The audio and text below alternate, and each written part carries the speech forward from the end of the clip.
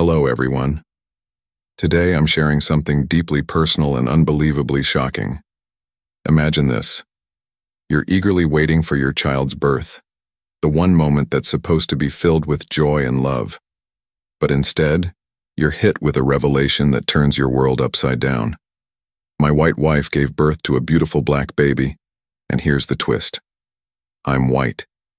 As you can imagine, a thousand questions and emotions flooded my mind. This isn't just a story about betrayal or heartbreak. It's about revealing the truth and the shocking journey that followed. In this video, I'll walk you through every moment of this mind-blowing experience, from the initial shock to the heart-wrenching conversations to the startling DNA revelations. Trust me, this is a roller coaster ride you won't want to miss. Stay tuned. The truth is more twisted than you can imagine. I first met Daniel at a neighborhood BBQ. Alice dragged me along, insisting that we should socialize more. Typical Alice always trying to bring me out of my shell. I was initially skeptical. Making small talk with strangers isn't my strong suit. But then I saw Daniel operating the grill and something about him piqued my interest. Hey there, he said, waving a pair of tongs. You must be Donald. Alice has told me all about you. I nodded and shook his hand. All good things, I hope. Daniel laughed in a warm, genuine tone. Oh, only the best. She's quite proud of her soldier husband. We started talking, and I was surprised to discover we had much in common. Daniel was an ex-military member who had left the service years ago.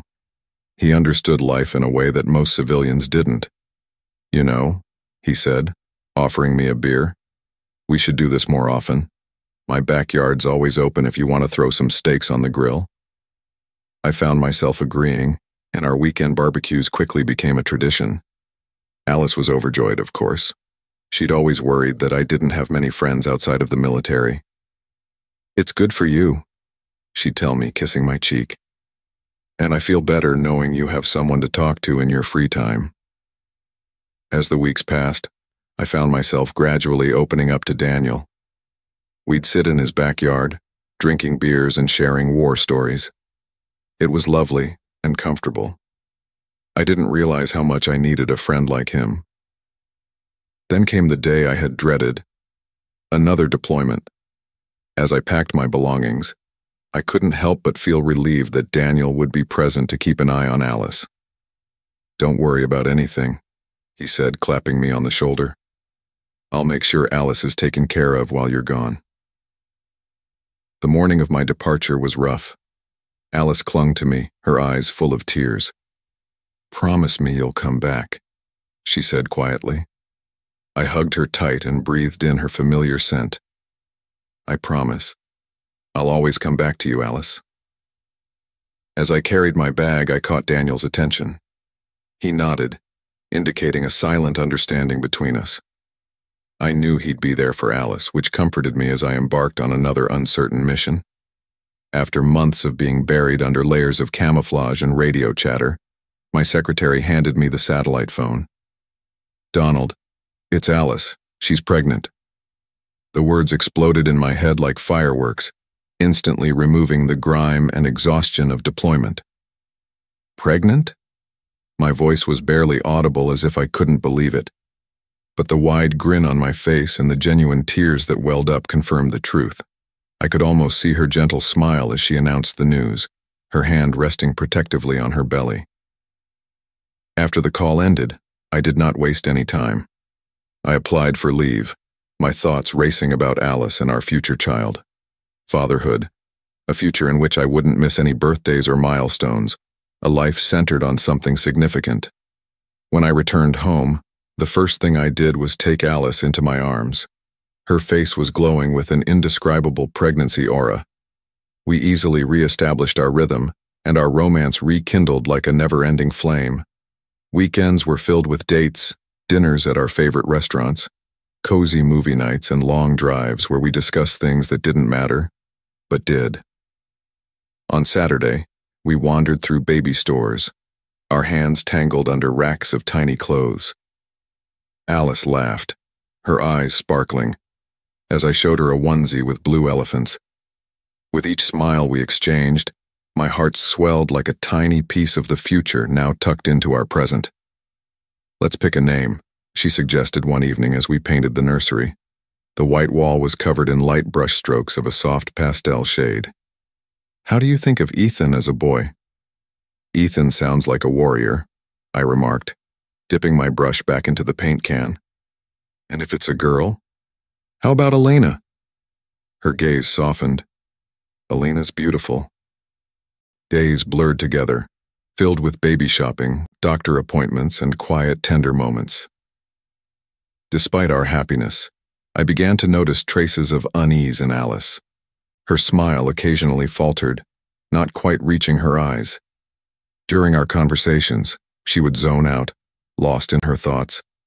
It's just the stress of the pregnancy, I told myself. Hormones and all that. Nonetheless, her distraction gnawed at the edge of my consciousness. One night, we went to see a movie. I am trying to remember which film it was. We sat in the dimly lit theater, the screen's light flickering across our faces. Alice appeared distant, her hand cold in mine. She kept fidgeting, her gaze rarely resting on the screen. Halfway through the film, I looked over at her. Everything okay? Yes, she said softly, but her voice lacked conviction. Just tired. I squeezed her hand, hoping to provide silent comfort. We can leave if you want. She shook her head and forced a smile. No, let's stay. It's fine. But it wasn't okay. The nagging feeling of doubt persisted in my thoughts. I tried to ignore it, focusing on the movie, but Alice's distraction was palpable. I leaned in closer and whispered reassurances into her ear, hoping to alleviate whatever bothered her. Despite my efforts, the unease persisted. I couldn't shake the feeling that something was deeply wrong. But for now, I tried to focus on our future, the baby, and the life we were creating together. On my birthday, I paced down the hospital corridor, my palms sweating and my heart racing. Alice's screams echoed throughout the halls, making me cringe. I'd dealt with enemy fire without breaking a sweat, but this was entirely different. You're doing great, honey, I said, trying to hide the tremor in my voice. Hours passed, and I felt like an eternity. Finally, the screaming stopped, leaving an eerie silence. My breath caught in my throat as the doctor appeared with a grim face. Mr. Thompson, could you come with me, please? As I followed him, my legs felt like lead, and my mind raced with possibilities. Was Alice fine? Was it the baby? We entered a small room, and there it was. My child, flesh and blood. However, Something needed to be fixed. The baby's skin was much darker than it should have been, even darker than mine or Alice's. My world was shattered in that instant. The room spun, and I gripped the crib's edge to keep myself steady. This can't be right, I choked out, barely audible. The doctor placed his hand on my shoulder, his voice filled with sympathy. Mr. Thompson, I understand this must be a shock. But I wasn't paying attention. My mind was reeling, trying to piece together all the slight unease moments when Alice appeared distant or guilty. Everything makes sense now. Rage welled up within me, threatening to consume everything in its path. Without saying anything, I turned around and stormed out of the room, ignoring the doctor's calls from behind me. I couldn't look at Alice. I couldn't bear seeing her lying there knowing what she'd done. The betrayal left a deep wound that I knew would never fully heal. My feet carried me out of the hospital and into the cool night air. I gulped it down, attempting to clear my mind, but all I could see was that baby, the living, breathing evidence of my wife's infidelity. I stormed into our house, my mind filled with rage and disbelief. The silence that greeted me only increased my rage. I dashed for Daniel's house, my fists so tightly clenched that my knuckles turned white. Daniel, I exclaimed, pounding on his door. No response. The bastard was most likely still in the hospital, acting as a devoted father to my wife's child. My child? No, it's not my child. The thought made me ill. I kicked the door in frustration and returned to my house. the one we'd built together, full of memories that now felt tainted and false. I paced the living room, my thoughts racing. How long was this going on? How often did they laugh at me behind my back? The deployment, the barbecues, and the friendly chats had all taken on a sinister tone. I yelled and swept everything from the mantelpiece. The glass shattered and photos of Alice and me fell to the floor. Okay, let it all break. I needed a plan. I could not let them get away with it. My military training kicked in, and I began thinking strategically. First and foremost, I needed to end this farce of a marriage. I took out my phone and called my lawyer. Jack, this is Donald.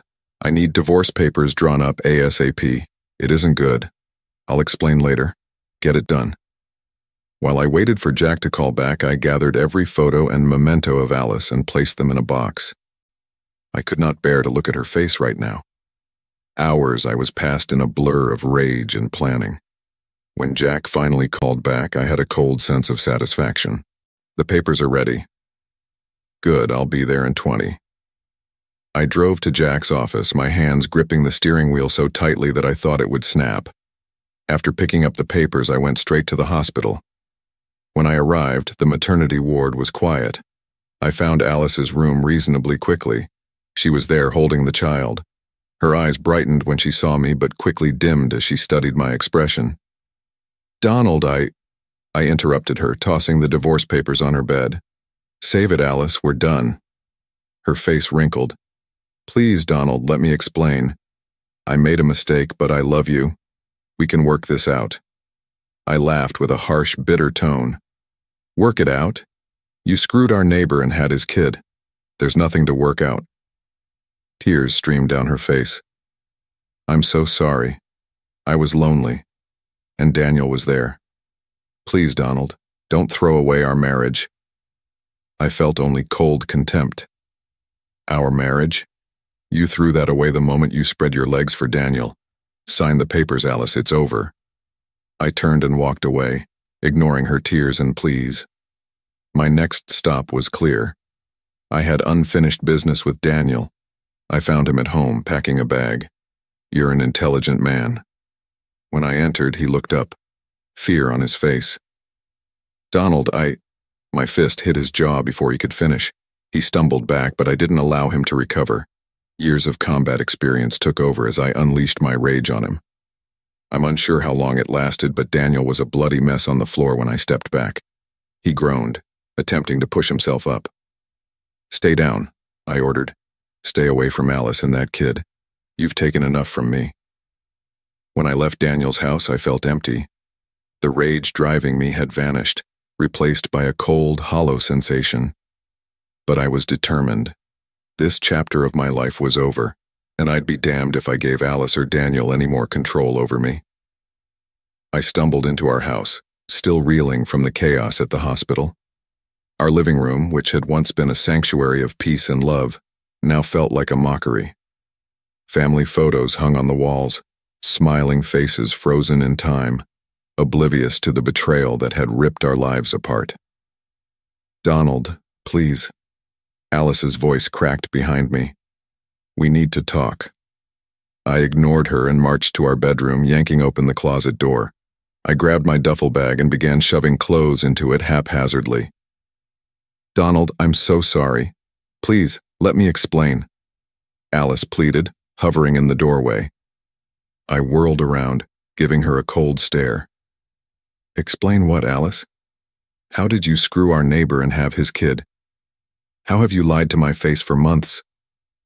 She flinched at my words, tears streaming down her cheeks. I made a terrible mistake. I was lonely and... Save it, I interrupted her, returning to my pack. I don't want to hear your excuses. As I moved around the room, gathering my belongings, memories flooded. Our first date, the day I proposed, and our wedding day, all tainted by her betrayal. Each item I packed felt like a nail in the coffin of our marriage. Alice's desperate attempts to apologize continued, and her words became a cacophony of regret and desperation. But I was unmoved, my heart hardening with each passing moment.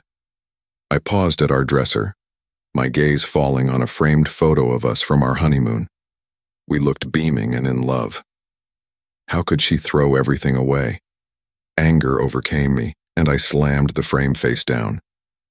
Donald, please, Alice sobbed. I love you. We can work through this. I turned to look at her, my voice low and cold. Love? You're not sure what the word means.